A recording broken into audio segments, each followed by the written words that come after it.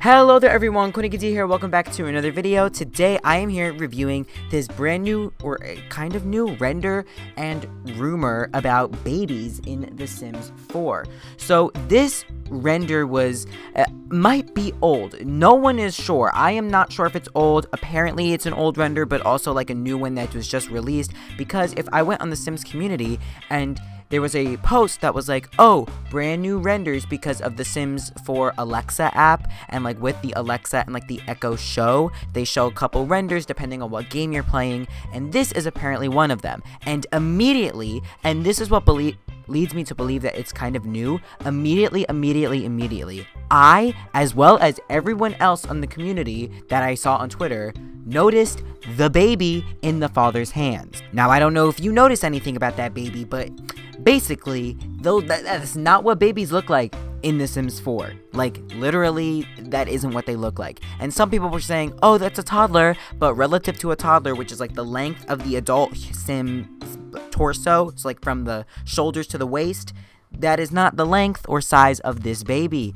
So this leads me to believe that is indeed a baby render, um, which also leads me to believe are we getting new babies? Now, it was immediately shut down that around the time The Sims 4 was being announced, and like about a year or so into it, um, they actually did use this kind of baby. If you see all the way to the left, the man in the red holding the baby kind of has the same rendering slash styling of the baby from the last render.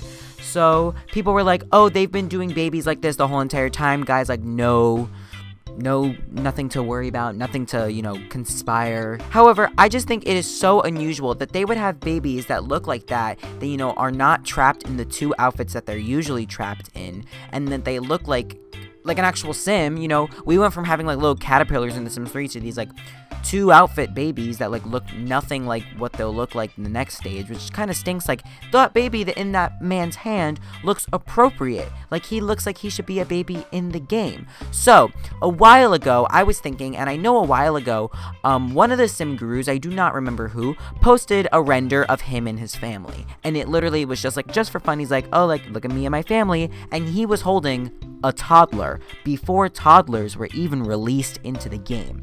So, obviously, it was like, oh, they know how to render a toddler. That means they're working on some sort of impl- implementation, implication, impl- implementations of toddlers. They're implementing toddlers into the game. So everybody was like, oh, if they can do that, why can't what does that mean they're also doing this with these kinds of babies? The Sims team has acknowledged that there's a lot of life stages that need to be worked on, and the fact that we only have a very few amount of interactions and things to do with babies, such as the fact that we only have two cribs and like literally no furniture, maybe they are working on some sort of free update and they are not shy to release these kinds of renders because babies will eventually look like that in the future. Like, we really need something for babies. We really need something for elders. And everybody knows that. And I think the Sims team knows that as well. So I am looking forward to see if they do something with these babies um, because I would personally like to see us be able to at least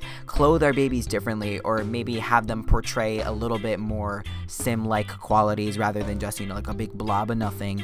Um, but yeah, that is my opinion. Let me know in the comments down below, one, if you know if this is for sure an old render or if it's a new render and if you think they're going to be coming out with new stuff for babies in the near future. So thank you guys so much for watching. I hope you enjoyed. If you did, please like this video up and I'll see you guys all again next time. Goodbye.